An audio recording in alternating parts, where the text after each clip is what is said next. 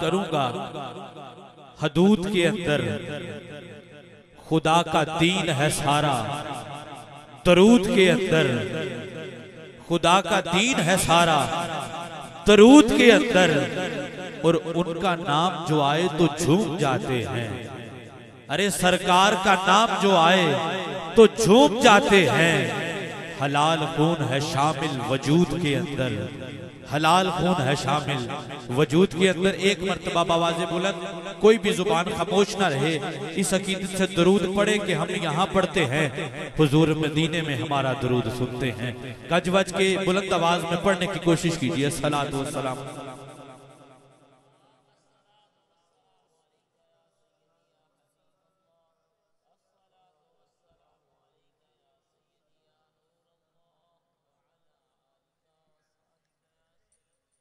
حاضرین گرامی قدر آئیے میں حمد سے آغاز کر رہا ہوں۔ اور کاری قرآن کو دعوت دے رہا ہوں۔ اور مجھے قرآن کے کاری کو دعوت دینی ہے۔ اور چار مصرے پہلے سن لیجیے۔ قرآن اور حسین حرف چار چار ہے۔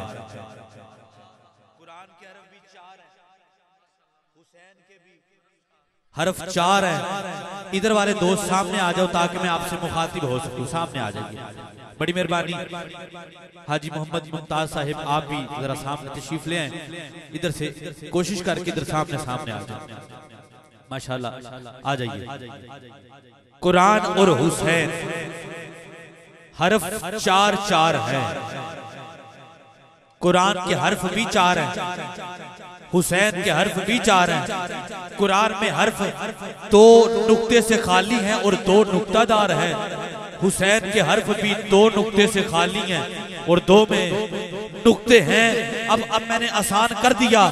اہل اسٹیج بھی، اہل پنڈال بھی خاموش نہیں رہیں گے۔ قرآن اور حسین حرف چار چار ہیں۔ ارے قرآن اور حسین حرف چار چار ہیں۔ دو نکتے سے خالی۔ اور دو نکتہ دار ہیں۔ ان دونوں ناموں میں فقط نون ایک ہے یعنی قرآن اور حسین کا مضمون ایک ہے۔ بولیے سبحان اللہ۔ قرآن اور حسین کے، قرآن اور حسین کے حرف چار چار ہیں۔ ارے قرآن اور حسین کے حرف چار چار ہیں۔ ارے آئیے، میں نے قرآن سے اپنی بات شروع کر دی۔ ارے بسم اللہ الرحمن الرحیم۔ تو بسم اللہ کے حروف ہیں انیس۔ آپ میری طبیعت کے ساتھ طبیعت ملا لو۔ میں یقیناً کار یہ قرآن کو دعوت دے دوں گا۔ کیونکہ پہلے مجھے جتنا سفر کر کے میرے مہمان آئے ہیں، اتنا سفر ان کا رائے گاہ نہیں جانا چاہیے۔ کوئی تھوڑا سا محفل کا ماحول بنے گا، پھر میں کار یہ قرآن کو دعوت دوں گا۔ لیکن اس سے قبل اب بسم اللہ کے حروف ہیں انیس۔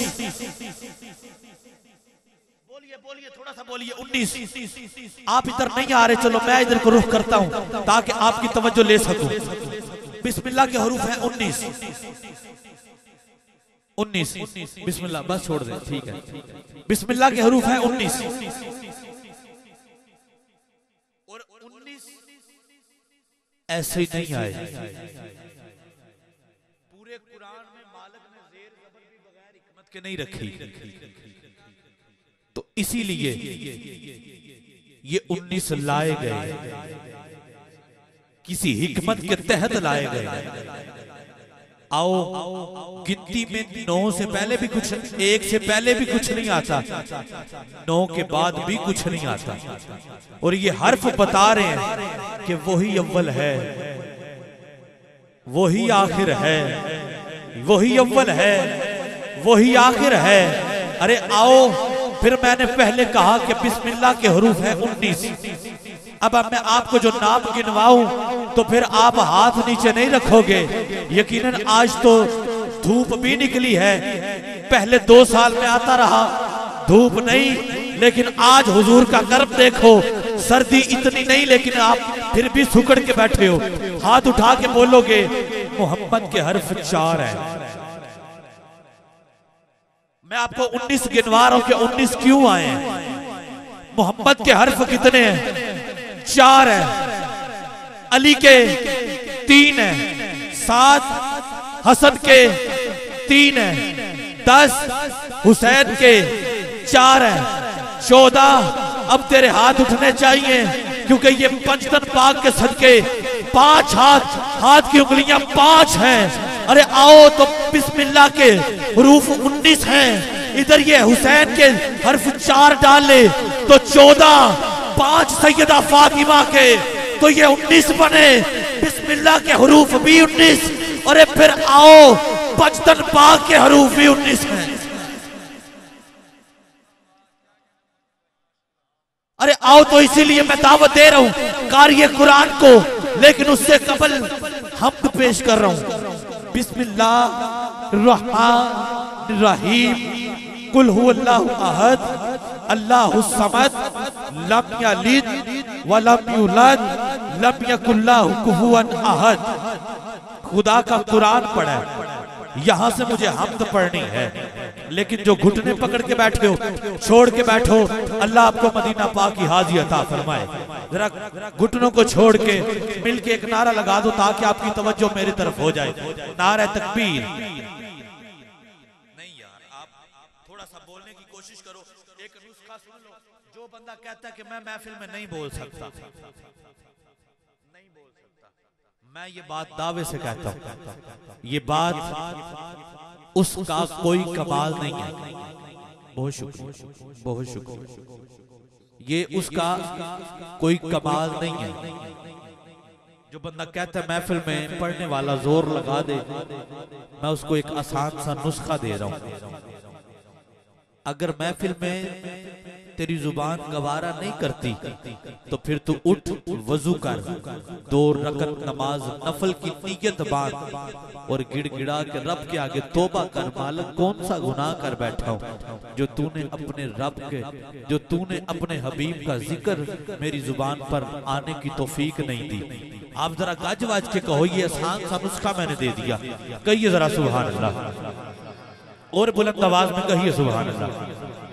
نہیں نہیں، ابھی بھی جتنے لوگ بیٹھے ہو، کم نہیں ہو۔ زوک والے چار بندے بھی ہوں تو یقیناً ختم نہیں ہوتے۔ آپ ذرا گاج واج کے کہو، سبحان اللہ۔ ابھی بھی کم ہے آواز۔ اور بلند چاہیے، سبحان اللہ کیوں مالک جو آج ہاتھ اٹھا کے کہے، اسی سال مدینہ پاک کا مسافر بنے۔ اور جو دونوں ہاتھ اٹھائے، اس وقت تک موت نہ آئے جب تک گمبد خزرہ دیکھنا آئے۔ اور جو بلند آواز سے کہے، خدا اسے مولا علی یعنی در نجف کی حاضی نصیب عطا فرمائے۔ اب جو چاہتا ہے کربلا مولا بھی ہو لے، تو پھر حسین کی شہادت کا واسطہ دے کے کہتا ہے پروردگار، جو دونوں ہاتھ اٹھا کے کہے، کربلا والے، حسین کا صدقہ اس وقت تک موت نہ آئے جب تک کربلا کی حاضری نہ ہو جائے۔ آئیے، میں نے بسم اللہ کے حروف بھی بتا دیئے اب میں جلدی سے رب کی کل ہو اللہ احد، یہ صورت مکے میں نازل ہوئی ہے۔ مکے میں، اور کیوں ہوئی؟ مکے کے کافر حضور کو کہا کرتے تھے کہ جس رب کی آپ بات کرتے ہو، کیا وہ پتھروں کا ہے؟ جس رب کی آپ بات کرتے ہو، کیا وہ لکڑی کا ہے؟ تو رب نے یہ صورت نازل کی، کہا، محبوب فرما دیجیے۔ کل قرآن میں قبل علامہ صاحب تشریف فرمائے، جہاں بھی آئے گا، اس کا مطلب ہے محبوب آپ فرما دیجیے۔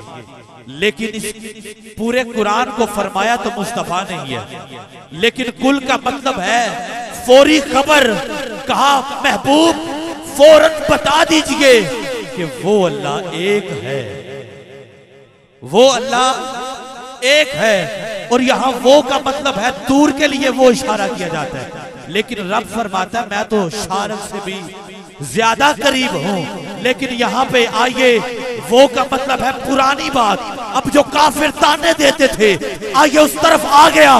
جو کافر تانے دیتے تھے جس رب کی آپ بات کرتے ہو، کیا وہ پتھروں کا ہے؟